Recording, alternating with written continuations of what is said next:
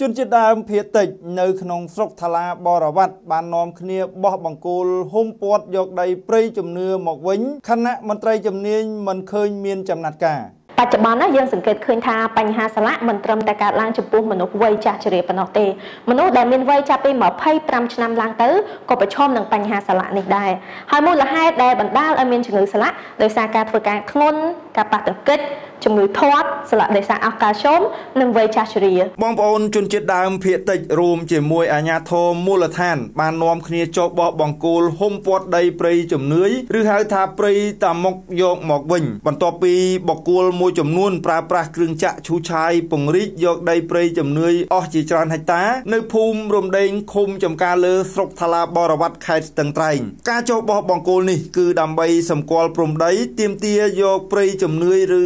ហៅថាព្រៃតាមុកមកវិញនិងដើម្បីការពារថែរក្សាអភិរក្សធនធានធម្មជាតិដែលនៅសេសសល់បន្តិចបន្តួចនេះកុំឲ្យបាត់បង់តទៅទៀតលោកពេជ្រកែមមេភូមិរំដេងបានប្រាប់បណ្ដាញព័ត៌មាននៅក្នុងស្រុកតាមទូរស័ព្ទឲ្យដឹងថាព្រៃជំនឿឬហៅថាព្រៃតាមុកនេះបងប្អូនជនជាតិដើមភាគតិចបានគោរពជាទំនៀមទម្លាប់ប្រពៃណីសាសនាសែនព្រេនទៅលើអ្នកតាម្ចាស់ទឹកដីព្រៃជំនឿឬហៅថាព្រៃតាមុកនេះតតគ្នាតាំងពីដូនតារហូតដល់បច្ចុប្បន្ននេះប៉ុន្តែក្រោយមកដីនេះក៏ត្រូវបានជន់ខលខូចលួចលក់ដីនេះឲ្យអ្នកមកពីតាមបណ្ដាខេត្តនានាដែលមានលុយជួលគ្រឿងចាក់ឈូសឆាយពង្រីកដាំដំឡូងមីនៅជុំវិញព្រៃជំនឿឬហៅថាព្រៃតាមុកក្នុងអំឡុងប៉ុន្មានឆ្នាំចុងក្រោយនេះទើបតែបាត់បង់អស់ទៅហើយលោកពេជ្រកែមបានបញ្ជាក់ថាអ្នកដែលមកទិញដីព្រៃជំនឿដាំដំឡូងមីទាំងនោះគឺសុទ្ធតែជាអ្នកមកពីស្រុកផ្សេងផ្សេង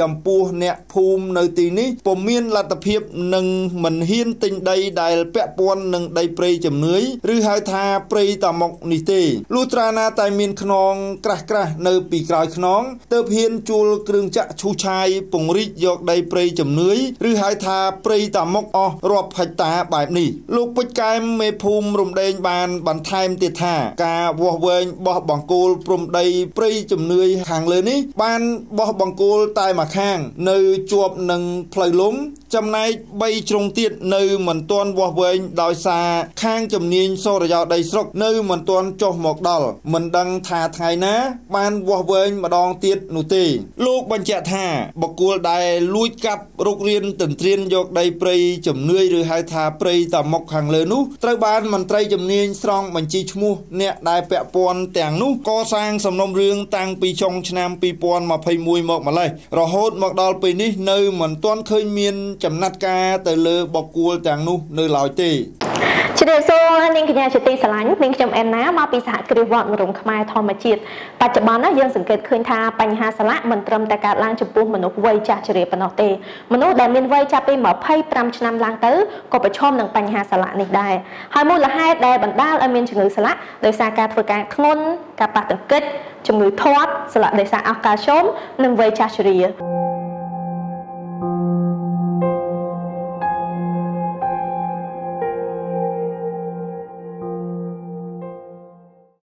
តម្រុំខ្មែរធម្មជាតិបានកែច្នៃរុក្ខជាតិម្រុំផ្សំឡើងលបាយពីឫសដល់ចុងដែលមានសមត្ថភាពខ្ពស់ក្នុងការដោះស្រាយវិបត្តិជំងឺសន្លាក់រ៉ាំរ៉ៃដុំគីដុំពកពកក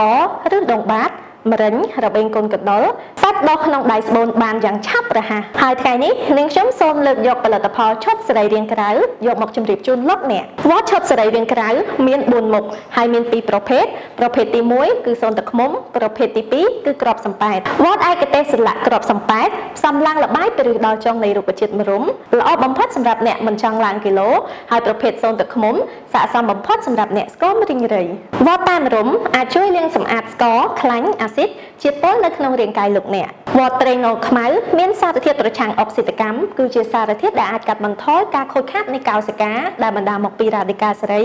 និងអាចភ្ញាក់ប្រព័ន្ធភាពស៊ាំថែមទាំងបង្កើតសកម្មភាពជាសះរបួសបានលឿនជាងមុនវត្តរមៀតក៏មានសមាសភាពសកម្មប្រឆាំងនឹងការដុះដុំសាច់ដែលបណ្ដាលមកពីវត្ថុសកម្មបានយ៉ាងល្អបំផុតហើយអាចប្រឆាំងមេរោគផ្សិតបាក់តេរី និងភ្នាក់ងារបង្កជំងឺមហារីកបានផងដែរ បើសិនជាលោកអ្នកកំពុងតែមានបញ្ហាដូចនាងខ្ញុំបានជម្រាបជូននៅក្នុងវីដេអូខាងលើនេះសូមកុំអស់សង្ឃឹមហើយតាក់ទងមកលេខទូរស័ព្ទទាំង3ប្រព័ន្ធនៅលើអេក្រង់នេះឬឆាតតាមប្រអប់សាររបស់ទំព័រ Facebook ភាសាខ្មែរវត្តបរមខ្មែរធម្មជាតិភាសាអង់គ្លេស What Natural ខ្មែរ Moringa សូមអរគុណ